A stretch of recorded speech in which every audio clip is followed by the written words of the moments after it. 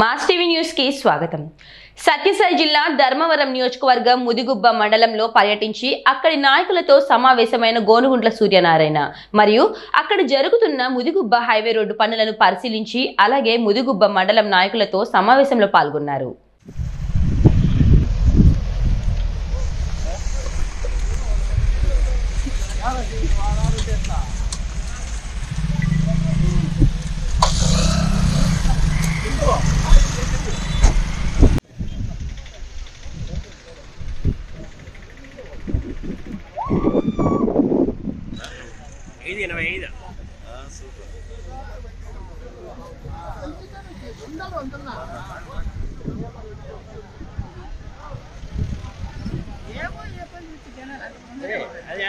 పిలిచింటే one hour మాట్లాడి doubt వచ్చేదే నేను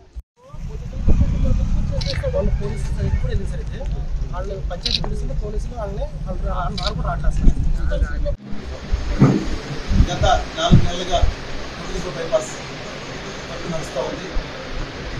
దాంట్లో భాగంగా స్థానిక శాసనసభ్యులు పోలీసు వారి ద్వారా రెవెన్యూ వారి ద్వారా అదేవిధంగా ట్రాన్స్పోర్ట్ వారి ద్వారా ఏటీసీ ద్వారా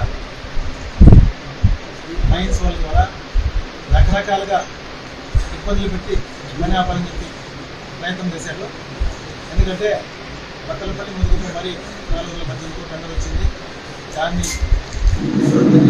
ఎవరు టెండర్ నిర్మించాల్సి ప్రయత్నం చేయడం అదేవిధంగా ముదుగుబ్బ పుట్టపర్తి కూడా టెండర్ వచ్చింది అన్నింటికి కూడా ఆయన కంట్రోల్లోనే తీసుకొని ఆయనే మొత్తం చేయాలనే ఉద్దేశంతో రకరకాల బెదిరింపులు రావడం జరిగింది ఎన్ని బెదిరింపులు వచ్చినా ఏం వచ్చినా కూడా ఇవన్నిటికీ కూడా టెండర్లు వేయడం జరిగింది అదేవిధంగా ఏదైతే ముందుగుప్ప బతుకు అధికారులు ఇబ్బంది పెడుతున్నారో దానిపైన గత నెలలో గడ్కరీ గారి దగ్గరికి వెళ్ళి కంప్లైంట్ చేయడం జరిగింది.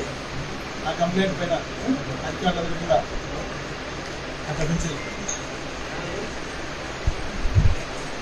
సమన్స్ వచ్చాయి. దానిపైన ఎంక్వైరీ కూడా జరుగుతూ ఉంది. ఏ అధికారి అయితే వాళ్ళకు స్థానిక ప్రజాప్రతినిధి వర్క్ ఆపాలని చెప్పి ప్రయత్నం చేశారు వాళ్ళందరి మీద కూడా యాక్షన్ తీసుకునే పరిస్థితి ఉంది. అది కాకుండా మేము కూడా ఏవైతే ఈ అధికారులు కొంతమంది వాళ్ళ లిమిట్ దాటి వర్క్ ప్రయత్నం చేశారు.